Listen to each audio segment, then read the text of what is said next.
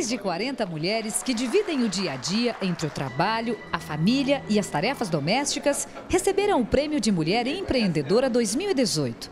São goianas que conciliam várias tarefas com sucesso. É para mim um orgulho muito grande receber esse prêmio, estou me sentindo muito lisonjeada, que é como se as pessoas, a população estivesse dizendo para mim, parabéns, parabéns pelo seu trabalho, você está no caminho certo. E isso para mim é motivo de uma alegria enorme, né? É gratificante, né? É gratificante. Eu sei que teria outras mulheres para estarem no meu lugar e, e sou eu. Então, assim, eu agradeço muito a oportunidade do deputado Jefferson Rodrigues, da TV Record, por estarem aí sempre ao nosso lado, né? Ajudando ajudando a gente dia após dia, porque sem a Record, na minha vida, isso nada estaria acontecendo. Os idealizadores do prêmio, Breno Alves e Leonardo Arruda, da revista Viver Goiás, entregaram o certificado de honra ao mérito pelos serviços prestados à sociedade goiana. O reconhecimento no trabalho que a gente faz ao longo de todo o ano, é, onde a gente se dedica ah, e a gente com certeza dá o melhor de si. É um orgulho. Todas as mulheres que estão aqui, é, to, é uma honra estar ao, ao, redor delas, gente. Só tem mulher importante aqui, mulher bonita. Estou me sentindo lisonjeada.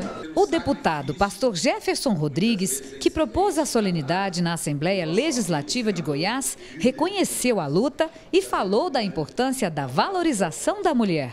Na realidade, estamos homenageando todas as mulheres goianas, especialmente as empreendedoras que através da sua sensibilidade, da sua garra, da sua determinação, muitas vezes tem ido à frente aí com uma dupla, às vezes até uma tripla jornada de trabalho e tem desempenhado o seu papel com maestria.